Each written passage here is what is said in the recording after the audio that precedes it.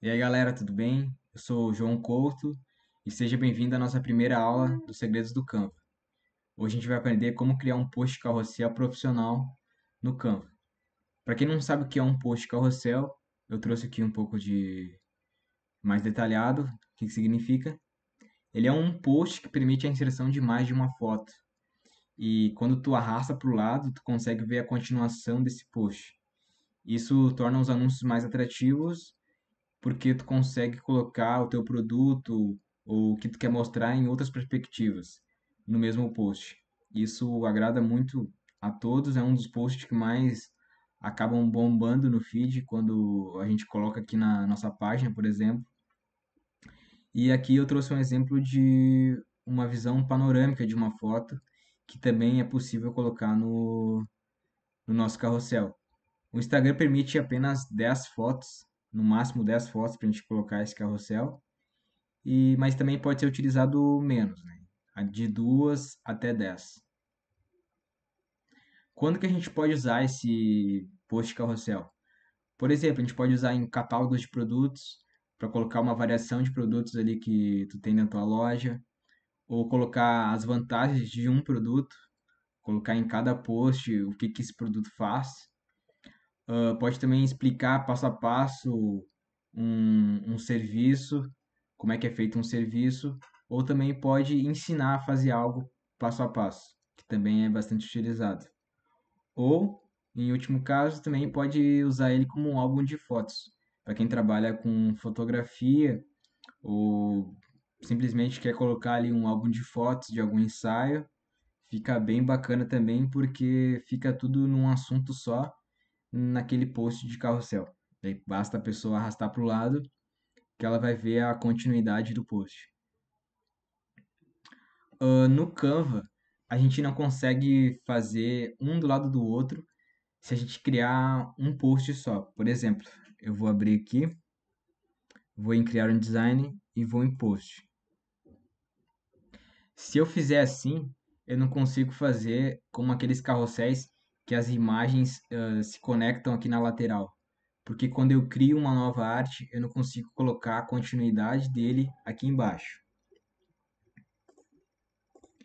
Para isso, a gente tem uma fórmula que a gente usa que é para uh, ver qual vai ser a largura do nosso post total. Para isso, a gente usa o 1080, que é o padrão, vezes o número de posts que a gente quer fazer que pode ser até no máximo 10. A altura do post ela continua sempre igual, é 1080. Aqui eu trouxe um exemplo de um carrossel com cinco imagens, onde a gente tem uma, duas, três, quatro, cinco. Então aqui na nossa fórmula a gente faz 1080 pixels vezes 5, que é a nossa quantidade de post, que vai dar o resultado de 5.400 pixels de largura por 1080 pixels de altura. Daí a gente vai no Canva, vem em dimensões personalizadas e aqui em largura a gente bota aquela aquele informação, aquela aquela conta que a gente fez, que é 5400 de largura por 1080 de altura. A gente vai em criar um novo design.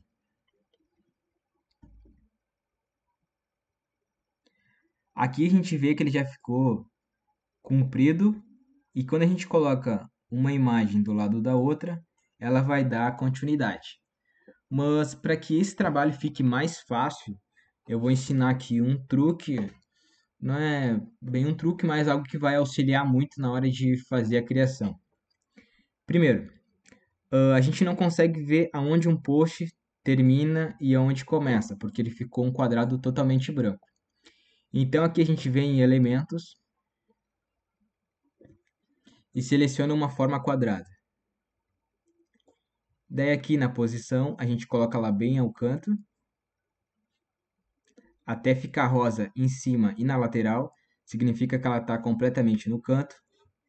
E aqui na lateral a gente puxa até encostar embaixo, onde também vai ficar um, uma linha rosa e a gente vai ver que aqui no, nas configurações ele vai estar tá 1080 por 1080.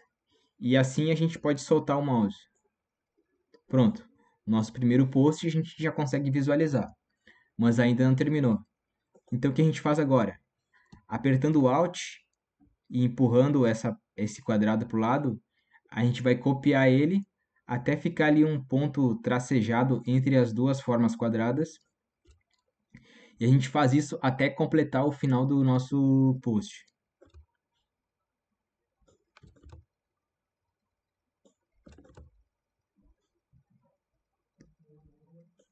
Pronto. Encaixou já perfeitamente aqui. Mas esses quadrados vão, vão servir só para a gente... Vai servir como guia para a gente colocar a nossa régua. A gente vem em arquivo e vem aqui em mostrar réguas. Agora aqui, quando der esse símbolo de duas flechas, uma para a esquerda e outra para a direita, a gente puxa até chegar em 1080. A gente vai ver, porque a gente fez o quadrado, ele vai identificar aonde termina esse quadrado e vai ficar muito mais fácil de puxar a linha. Então a gente vai ver aqui que ele vai ficar já em 1080. E a gente vai fazer isso também nos outros posts. Ó, onde quando ele fica rosa assim, significa que ele encontrou ali aonde termina o quadrado. E aqui a gente vem no outro, ficou rosa, a gente identificou que ele já encontrou onde termina e no outro, pronto. Agora a gente pode apagar esses quadrados que a gente não vai usar mais. Agora a gente consegue visualizar aonde começa e aonde termina um post. Uh, agora na hora da criação vai depender muito de como vocês querem criar, o que, que vocês querem mostrar. Nesse exemplo aqui eu já tenho um, um post que eu tinha criado em uma outra área de trabalho aqui que ele estava totalmente separado. Só que se eu juntar uma do lado da outra, elas não se unem dessa maneira que eu fiz. Ele é um carrossel, mas ele não vai se unir. Então o que, que eu vou fazer? Eu vou pegar esse, esse primeiro post aqui e vou dar um Ctrl C e vou colar lá na minha, área, na minha outra área de trabalho. Uh, eu vou fazer isso porque eu não vou criar totalmente um post do zero aqui, senão o, vai acabar ficando muito extenso a aula e não vai servir assim de maneira tão didática. Uh, só mostrando aqui da maneira que eu já vou mostrar, vocês já vão entender e já vão conseguir replicar aí em outras formas, em outros, em outros exemplos. Uh, mas antes disso eu vou mostrar aqui também, ó, por exemplo, aqui em templates, eles já mostram um monte de templates que eu posso utilizar que vai auxiliar na hora da, da criação do nosso, nosso carrossel. Por exemplo, eu posso colocar dessa menina aqui. Ó, vocês vão ver que ele vai preencher totalmente o, o feed. Totalmente o nosso nossa área de trabalho aqui. E aonde termina, é o, é onde tem esse traço aqui que a gente criou, é onde vai terminar o post. Então, por isso que a gente precisa ter essas guias para que a gente possa trazer ele para o meio. E para isso a gente consegue organizar e alinhar de maneira muito melhor o nosso, nosso feed. Mas como eu vou utilizar esses aqui que eu já tenho criado, então eu vou dar Ctrl Z e vou dar Ctrl V. Eu acho que eu estava com o fundo bloqueado. Deixa eu ver.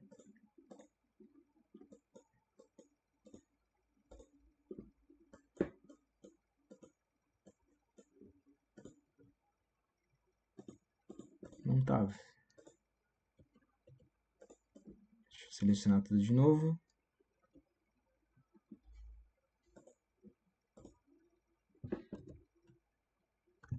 Beleza. Ficou assim, mas aqui o fundo eu vou trocar diretamente aqui no Canva.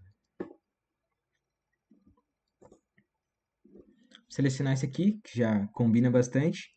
E aqui no zoom a gente pode aumentar aqui na lateral.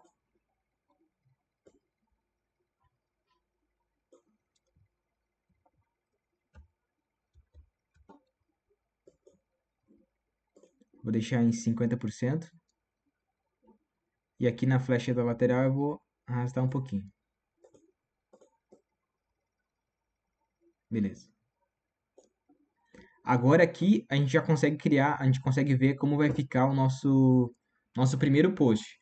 O post que vai aparecer no feed. Como, por exemplo, vocês podem ver aqui, uh, eu posso pegar essas duas bolinhas aqui e posso aumentar. Ele vai passar o meu post, mas quando eu arrastar para o lado, ela vai ter essa continuação aqui. E aqui nessa outra área, eu vou aumentar.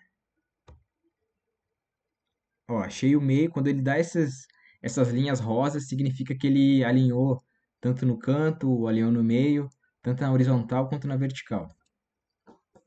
E aqui, esse outro elemento que eu tenho aqui, também vou aumentar. Posso deixar ele passando também, se eu quiser. Assim. E esse outro lateral eu vou aumentar um pouquinho também. E o logo, no caso aqui é o logo da página, né? Eu vou aumentar. Deixar ele aqui assim.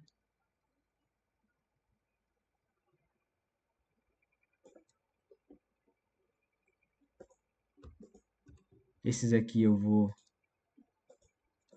Já tá alinhado no meio. Vou deixar aqui. Só vou tirar um pouco do zoom. 25.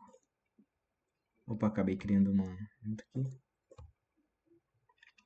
Por exemplo, eu quero eu quero descobrir qual que é o meio para eu colocar o meu logo para eu colocar o meu logo bem no meio dessa primeira página aqui. Eu posso criar um elemento que vai servir só de guia, como por exemplo aquele aquele quadrado que a gente fez. Ó. Posso puxar esse quadrado para cá. Vou dar um zoom de novo.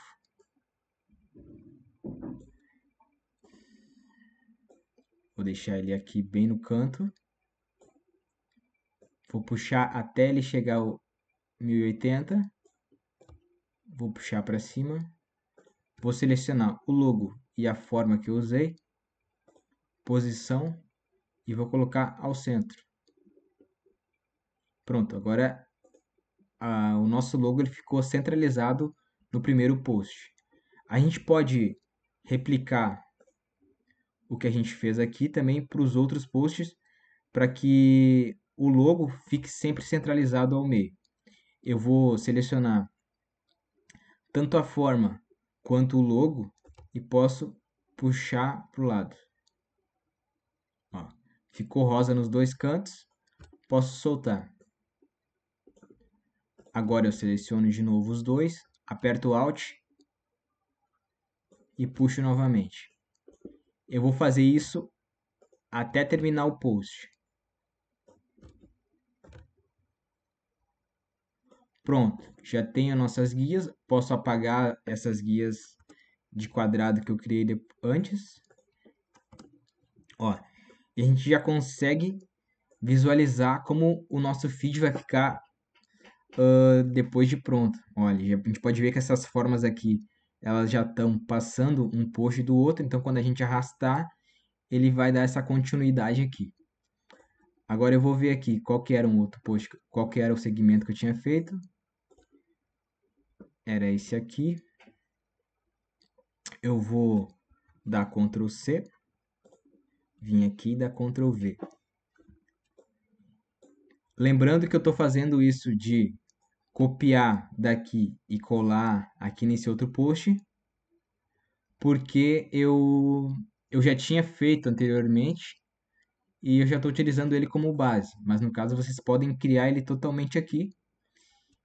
Ó, uma, agora uma, uma dica aqui, ó. Como eu já tinha alinhado esse logo pelo meio, ele vai servir como guia para quando eu puxar um outro elemento aqui, ó. Pode ver que ele vai ficar um, um tracejado rosa ao meio significa que o nosso post está completamente no meio.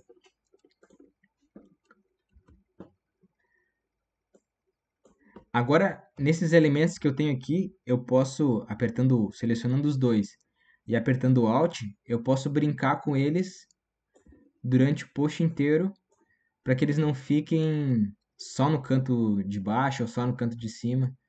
Posso ir brincando não preciso me preocupar se ele vai ficar igual ao primeiro, porque quando a pessoa passar aqui, ela não, vai perceber que mudou ou, ou se mudou, porque vai estar lá no início, né, nossos elementos. Vou copiar novamente aqui. Ó, nosso, nosso feed, nosso post carrossel já está ficando interessante. Agora eu vou vir aqui na... Deixa eu ver, era o passo 1. Eu vou pegar o passo 2.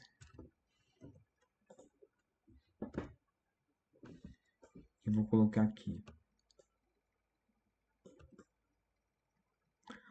Como eu estou copiando daqui e colando aqui, provavelmente essas fontes aqui não vão ficar do mesmo tamanho, porque eu estou fazendo tudo realmente mais no olho.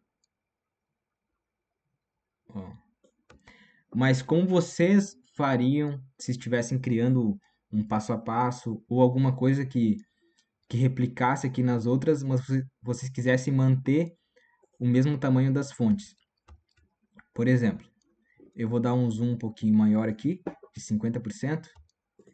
Eu iria pegar, eu, por exemplo, nessa página aqui eu quero fazer o passo 3. Eu pego esses dois, que eu já tenho aqui pronto, seleciono os dois, aperto o Alt e arrasto para o lado. Agora aqui,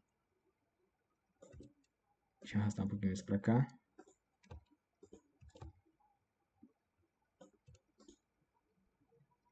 Apertando no botão direito eu posso agrupar eles, que eles ficam totalmente juntos, eu não preciso mais selecionar um de cada.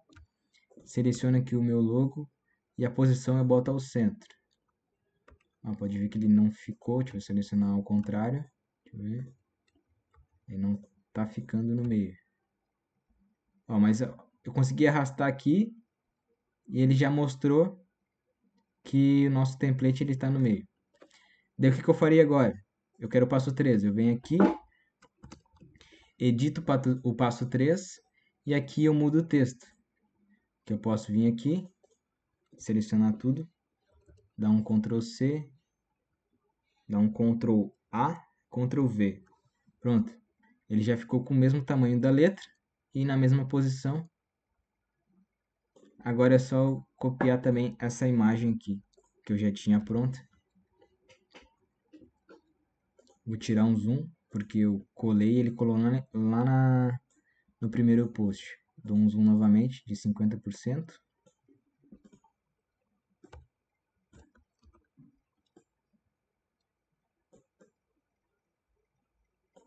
E ele já está no meio aqui porque ele me deu essa, esse tracejado rosa, só para lembrar. Caso vocês, uh, por exemplo, ah, eu quero que esse aqui fique na mesma altura que esse, mas eu não estou conseguindo achar alguma linha aqui que, que me direcione para, tipo, esse rosa aqui, ó. Eu puxei para cima e ele identificou no outro lado aqui que eles estão na mesma altura, porque ele deu esse tracejado rosa. Mas caso eu não encontre essas linhas guias, eu como a régua já está ativada, eu posso vir aqui e puxar uma régua para onde eu quero alinhar e a gente tirando o zoom.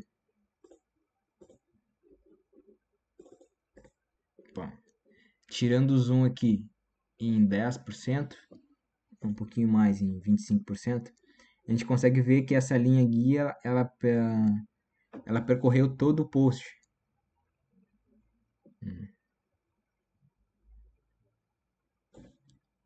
E isso vai servir de guia para a gente colocar as outras imagens, caso, caso a gente queira, deixar na mesma altura.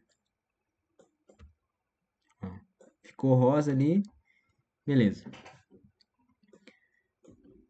Aqui nesse post eu tinha 3, passo 3 e o fim. Pronto, agora eu vou copiar esse final aqui, que também é muito interessante que vocês coloquem esses elementos aqui no final do post, que vai ajudar a lembrar as pessoas de salvar, de compartilhar, de comentar, de curtir e acaba dando um ar de, de mais assim uh, profissional no perfil de vocês. Então eu vou dar um Ctrl C que eu já tenho pronto esses elementos aqui.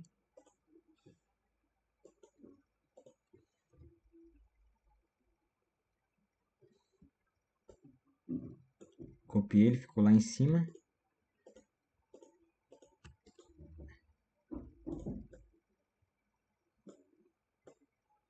Agora eu vou arrastar eles aqui para o final do post.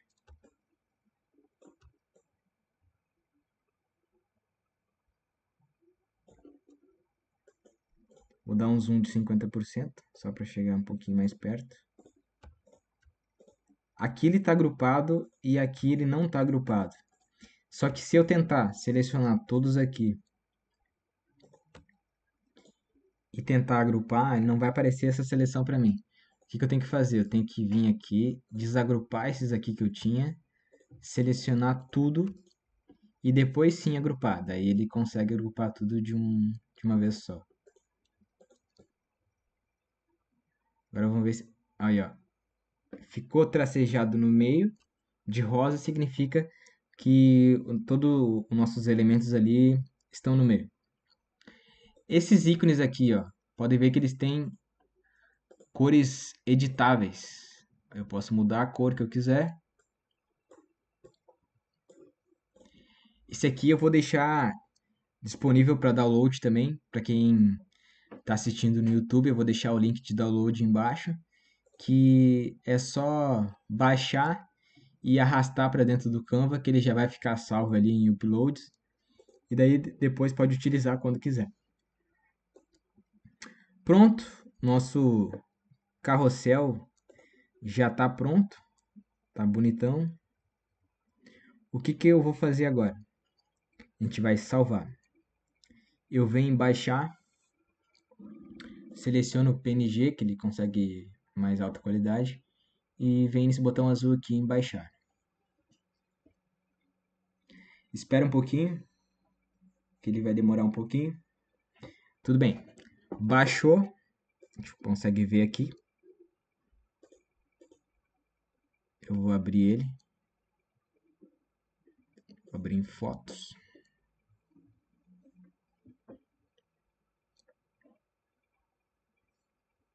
Vamos ver como é que ficou. Ó, já ficou bem bacana. Se a gente quiser, a gente poderia colocar... A gente poderia ter colocado mais alguns... Eu esqueci de colocar, replicar esse elemento aqui, ó. Depois dos posts, mas eu, eu vou voltar lá e vou fazer de novamente. Vou fechar aqui. Vou deixar em 10%. E esses elementos aqui de bolinhas, eu vou apertar Alt Vou arrastar ele. E vou deixar também no canto. Vou deixar aqui. Opa, sempre acabo às vezes apertando aqui sem querer. Pronto. Vou deixar uns 50%. Vou ajustar aqui, só para poder enxergar melhor. Pronto. Agora sim, eu venho aqui em baixar de novo. E venho em baixar. Espera um pouquinho.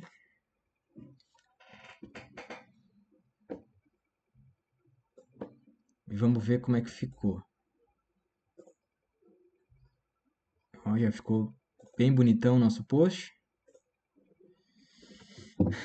Ficou bem profissional. E só que tem um problema agora. A gente não consegue usar esse post, esse desse tamanho, e postar ele dessa maneira, porque ele não está recortado. Então, por isso a gente vai usar um site aqui já online, para não precisar usar um aplicativo, para enviar essa foto por e-mail o telefone, para não perder a qualidade, e colocar algum programa para depois cortar. Eu vou dar essa sugestão aqui de site, que é o pictures.net. Eu vou deixar também ele, ele no PDF aqui, o pessoal não esquecer, é pictures.net .net barra split barra. Ele vai abrir essa, essa página aqui. Beleza, o que, que a gente faz aqui nessa página agora que está tudo cinza e não tem tudo em inglês, não tem informação nenhuma? Bom, a gente vem aqui em upload imagem e vê onde é que ficou salvo lá. Eu acho que ficou, é, no meu aqui no caso ficou em download. Mas se o computador de vocês estiver configurado para salvar na área de trabalho ou salvar em alguma outra pasta, ele vai estar tá nessa outra pasta. Eu vou selecionar aqui, foi o último que eu baixei, foi esse, Vou abrir. Ele demora um pouquinho para carregar. Ó, carregou o nosso post aqui. Ele já identificou o tamanho, ó. Aqui é a largura e aqui é a altura.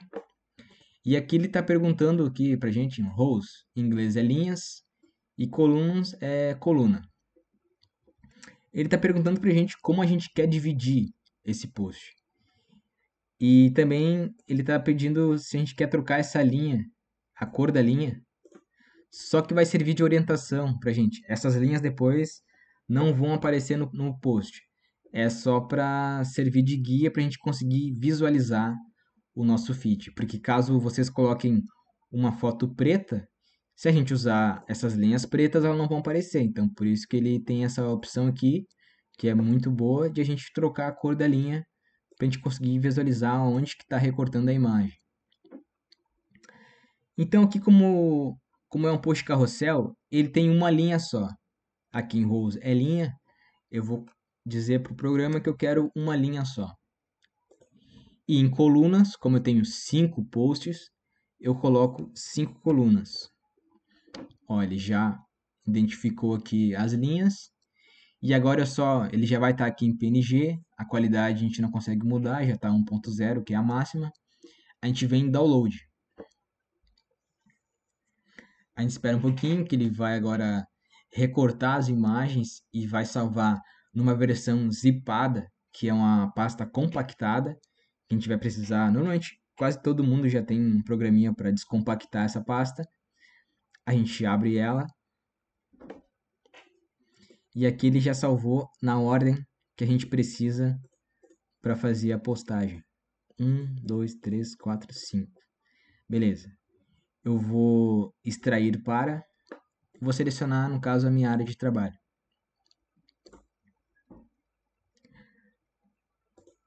Agora eu vou aqui na minha área de trabalho.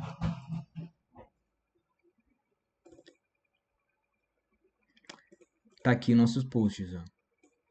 Esses aqui eu vou excluir, que não vou usar agora. Esse aqui também. Eu vou abrir aqui.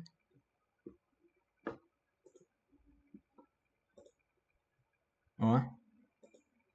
Passo 2, passo 3. E salve, compartilhe, comente, curta. Vou abrir ele aqui direto no navegador. E a gente pode ver que ele manteve uma qualidade boa. Não perdeu a qualidade. E com isso a gente consegue já postar no, no nosso feed. Agora, o que, que eu recomendo fazer? Como o, se a gente abrir o Instagram pelo desktop, a gente não consegue fazer a postagem desse feed no direto pelo desktop. Por mais que a gente coloque em inspecionar elemento, ele permite postar apenas uma foto de vez. Então eu utilizo muito o Gmail. Eu venho escrever um e-mail vim aqui nas minhas fotos que a gente fez e vou enviar para mim mesmo. No caso, o meu o meu e-mail é segredo do canva@gmail.com. Coloca ali o assunto carrossel aula 1 carrossel no Canva.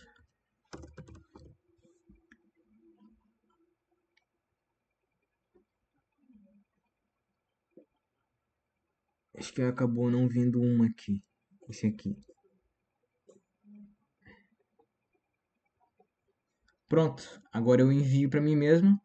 E como eu tenho, como eu tenho esse e-mail aqui cadastrado no meu no meu celular, eu consigo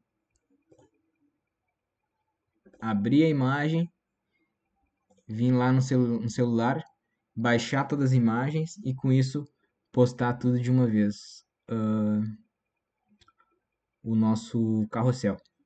A gente vai ver que as imagens vão ficar unidas uma do lado da outra. E com isso vai ficar muito mais profissional. E pode ver que se já tem a ideia na cabeça do que, que vai fazer, não demora muito, é fácil. Única coisa que tem que se preocupar é o alinhamento, caso vá colocar o logo da página de vocês ou do cliente de vocês, é fazer esse alinhamento aqui no meio, que a gente utiliza, como eu ensinei, vou voltar aqui só para relembrar. Eu utilizei um quadrado, coloquei bem no canto. Como a gente já tinha colocado aquele quadrado no, aquele quadrado no início, para a gente conseguir colocar essas guias aqui, venho aqui, acho de novo o 1080 e arrasto um pouquinho para cima. E com isso, como eu já tenho fundo, já tenho todos os elementos, eu só organizo a posição deles, que é ao centro.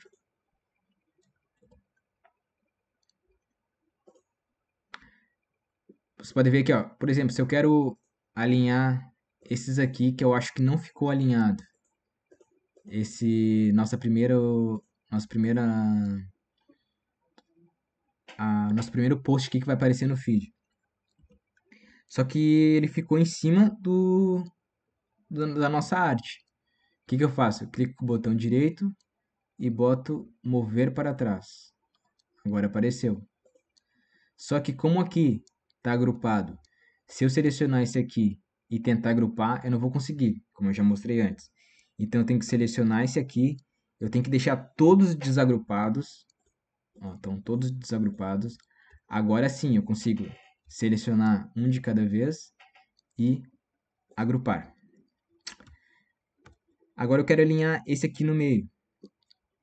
Já estou com eles todos agrupados, selecionados. Seleciono o quadrado que vai servir de guia para mim e coloco ao centro. Pronto, esse deu apenas um, um toquezinho para a esquerda e já alinhou no meio, é isso que a gente precisa. Uh, é uma coisa muito simples, mas que faz muita diferença de um feed mais organizado, é o alinhamento.